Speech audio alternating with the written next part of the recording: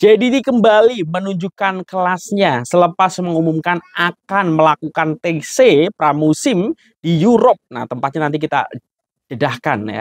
Dan juga keyakinan tinggi Safawi Rasid selepas bergabung dengan Trengganu. Ini kaitannya dengan posisi beliau di skuad kebangsaan Malaysia. Nah, detailnya seperti apa? Ikuti video ini sampai akhir. Selamat datang di JS Update. Ya, Assalamualaikum warahmatullahi wabarakatuh. Selamat malam kurang semua. Semoga sehat-sehat semua. Ini kita sudah jalankan puasa ketiga ya. Jadi ini terawih ketiga juga. Besok kita akan jalankan puasa keempat. Semoga sampai selesai, sampai nanti kita bertemu Hari Raya Idul Fitri, kita akan senantiasa diberi kesehatan dan kemudahan untuk menjalankan amal ibadah di bulan suci Ramadan ini. Amin. Dan juga semoga keinginan yang ada di teman-teman semua ini boleh dikabulkan ya. Amin. Oke, kita akan update soal Johor Darul Takzim ya. Selepas uh, sekian lama tidak diumumkan uh, rencana TC dari Johor Darul Takzim, akhirnya JDT melalui Instagram officialnya sudah mengumumkan destinasi TC dari JDT sendiri. Kita tahu JDT beberapa tahun terakhir selalu melakukan pramusim di Dubai ya dan kita tahu kenapa melakukan uh, pramusim di Dubai selain karena fasilitasnya ini juga faktor link dari TMJ dengan uh, Dubai dan di Dubai ini biasanya memang ada kemudahan ya untuk mendapatkan lawan-lawan uji coba. Nah, sebelumnya juga uh, ini termasuk dalam rangkaian rencana yang uh, dicanangkan oleh TMJ bahwa untuk musim ini akan melakukan TC pramusim di Eropa.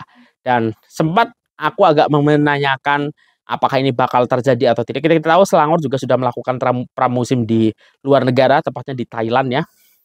Yang lucu, yang lucu malah ada dari Thailand itu melakukan TC di Johor. Menarik ya.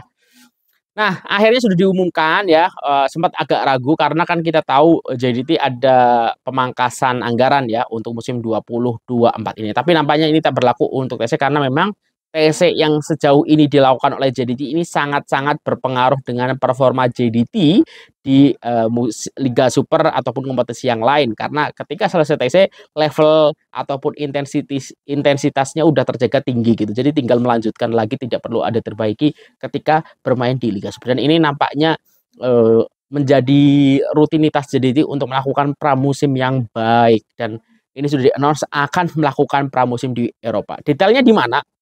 Ini aku baca dari makanbola.com ya. Jadi bakal terbang ke Spanyol ya. Tujuh lawan handalan menanti. Jadi sudah jelas ya ini uh, pramusimnya ke Spanyol. Juara Liga Super Malaysia, JDT akan terbang ke bumi Spanyol bagi menjalani kampanye pramusim sebelum saingan Liga Malaysia 2024-2025 bermula. Dalam satu hantaran yang dimuat naik laman official Johor, klub dari selatan tanah air itu memaklumkan bahwa mereka bakal berkampung selama dua minggu di sekitar Alicante, Spanyol. Skuad bimbingan Hector Bidoglio akan menguji kekuatan sebenar pasukan apabila akan berdepan tujuh siri perlawanan persahabatan. Klub bola sepak Johor Darul Tazim akan menjalani kampanye pramusim di Spanyol dari 14 hingga 30 April dengan tujuh perlawanan persahabatan bakal dihadapi dalam tempo dua minggu. Harimau Selatan akan berpangkalan di Melia Villaitana Football Center di Perbandaran Benidorm di Alicante, Spanyol. Pramusim kali ini juga akan menjadi medan uji coba buat pemain-pemain yang baru saja didatangi JDT untuk mematamkan skuad musim ini. Nama-nama seperti Jalil Elias, Chico Geraldes, Murilo pastinya akan menjadi perhatian peminat dan penyokong Tegar JDT.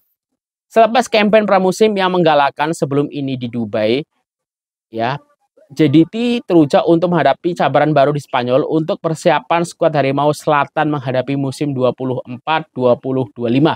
Luaskan kuasamu, tulis JDT.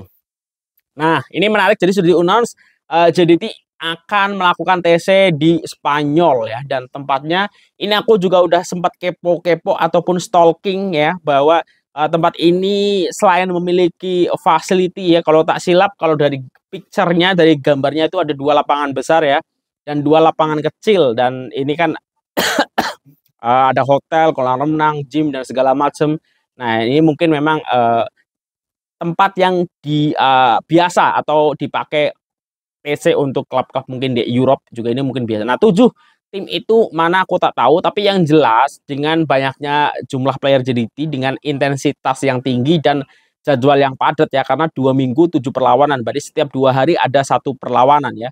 Jadi uh, pasti ini akan uh, semua mendapatkan kesempatan untuk bermain dan ini sangat bagus untuk semua player JDT jelang menghadapi liga nantinya. Ini uh, luar biasa apa yang sudah dicanangkan oleh JDT. Kita tunggu saja nanti hasilnya seperti apa terkait pramusim uh, eh, JDT di Eropa ya. Karena kemarin pun ketika TC di Dubai itu juga menarik untuk kita ikuti hasil-hasilnya gitu ya. Nah selanjutnya ini soal Safawi Rasid ya nampaknya uh, mantan MVP, mantan paling player paling bernilai di Malaysia yang sedang mencari perform terbaiknya dengan uh, menjalani musim bersama Terengganu dan sekarang sedang fokus di skuad kebangsaan mulai mendapatkan keyakinannya kembali. Nah, aku baca dari makanbola.com, keyakinan tinggi bersama Terengganu lonjak motivasi Safawi Rasid. Ya, penyerang pasukan Harimau Malaya Safawi Rasid tekad memberikan yang terbaik menerusi keyakinannya yang tinggi untuk memastikan kejayaan memihak pasukan negara.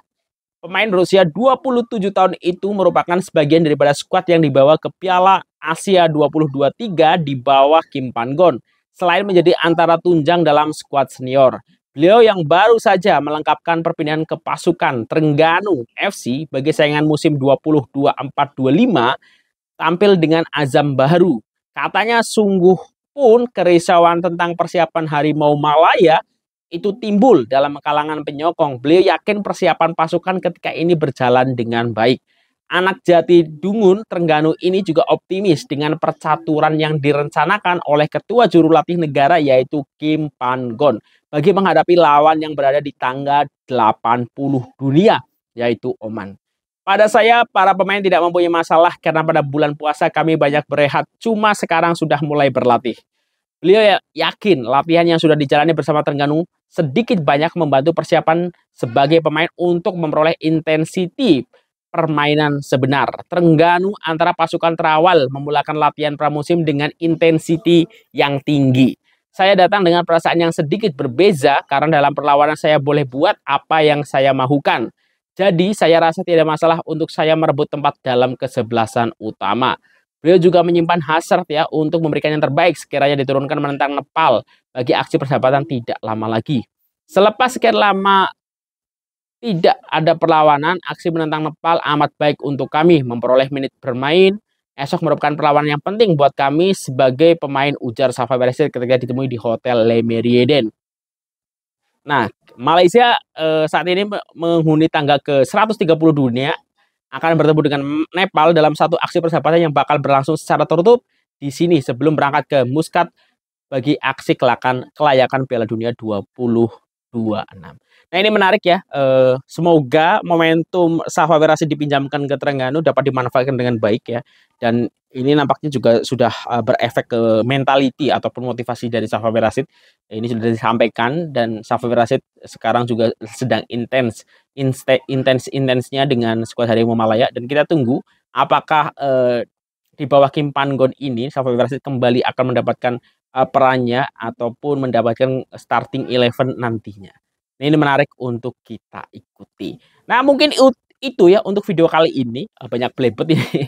Mohon maaf banyak kesilapan. Uh, Sia-sia semuanya. Semoga puasanya dimudahkan semua, rezekinya lancar. Amin amin ya rabbal alamin. Terima kasih. Wassalamualaikum warahmatullahi wabarakatuh. Dah.